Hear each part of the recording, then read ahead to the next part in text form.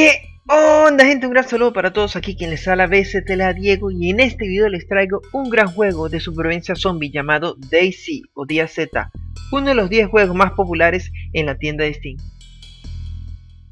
DayZ en realidad no es un juego como tal, es un mod, es decir, una modificación de un juego, en este caso Arma 2, el cual es un juego shooter de simulación de combate. DayZ nace del trabajo de la comunidad de Arma 2, donde logran unir dos factores que gustan mucho a los gamers y al público en general, que son zombies y el factor supervivencia. Y de ejemplo tenemos a la super serie The Walking Dead.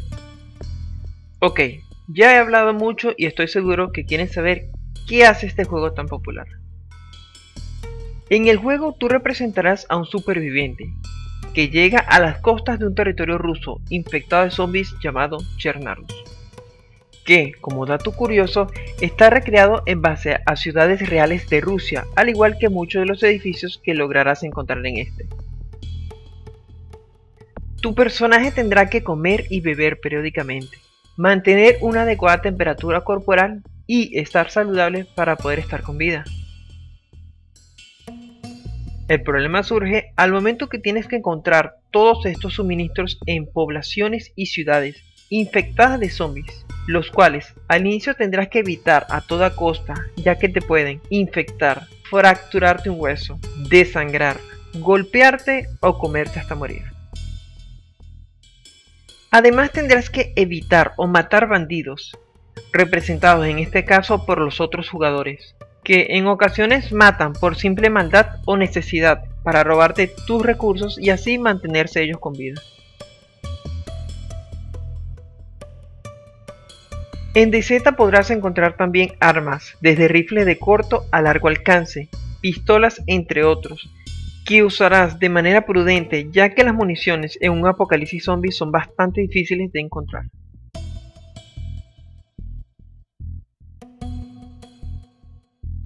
También existen vehículos como bicicletas, motos, carros y helicópteros, que a menudo encontrarás averiados y tendrás que repararlos y llenarlos de gasolina para poder moverte más rápido por el mapa y así encontrar recursos más rápido. DayZ es un juego online, con poblaciones que van de 20 a 80 jugadores por servidor, además de un modo offline o solo que no estaré tratando en este video. Y su popularidad surge de ser un juego shooter y zombie diferente a los demás, con este grado de dificultad de supervivencia, ya que al morir pierdes todo lo que llevas contigo y tendrás que volver a empezar de cero toda tu aventura, haciéndote cada vez más experto en supervivencia. Sabiendo todo esto y estando seguro que les gustó tanto DayZ como a mí, pasemos a la instalación. Para poder jugar DayZ necesitamos tener Arma 2 y su expansión Operación Punta de Flecha, que se vende en Steam en un pack llamado Operaciones Combinadas, a un precio de 25 dólares. Existe una página llamada Humble Bundle, que es una página de recaudar fondos benéficos en base a la venta de videojuegos, que solo por esta semana está vendiendo Arma 2 y su expansión necesaria para jugar Z por tan solo 6 dólares. El enlace a la página lo dejo en la descripción del video. Para comprar es muy sencillo, solo tienes que irte al final de la página, indicar que quieres cancelar 6 dólares por la compra, dar un correo electrónico a donde van a llegar los códigos de activación y seguido pagar ya sea con PayPal u otro método de pago. Los códigos que te entregarán son para la tienda Steam, así que solamente necesitas activarlos y empezar a descargar el juego. Ya instalado el Arma 2 y su expansión, vamos a instalar DayZ, el cual es totalmente gratuito. Para esto necesitamos descargar una herramienta llamada DayZ Commander. La dirección de esta página también la dejaré en la descripción del video. Ya una vez descargado e instalado el DayZ Commander podremos ver algo como esto. A la parte izquierda tenemos el filtro donde podremos determinar qué tipo de Z queremos jugar, versión y demás.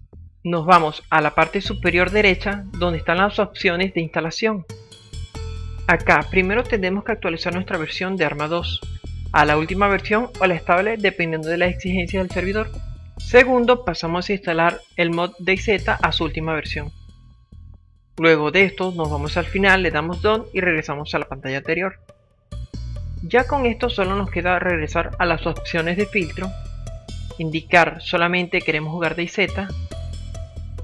y bloquear las versiones de Arma 2 que no tengamos y las versiones de mod de DayZ que tampoco tengamos. Así tendremos una búsqueda más precisa de los servidores en los que podemos entrar. Y de ahí solo tendrás que dar doble clic en uno de ellos y empezar a jugar. Antes que muchos pregunten, DayZ también se puede jugar versión pirata, pero jugándolo de esta manera podrás entrar en muy pocos servidores ya que esto exige un CDK al momento de entrar a un servidor. Y terminarás jugando en servidores piratas que a menudo encontrarás muchos fallos, además de hackers. Así que te recomiendo por completo comprar el original. Y bueno gente, esto fue todo por este video, espero les sirva de mucho y me lo hagan saber regalándome un me gusta. No olviden dejar sus comentarios si desean ver alguna guía adicional. Compartan el video con sus amigos para que se animen también a jugar DayZ y así posiblemente encontrarnos en algún servidor.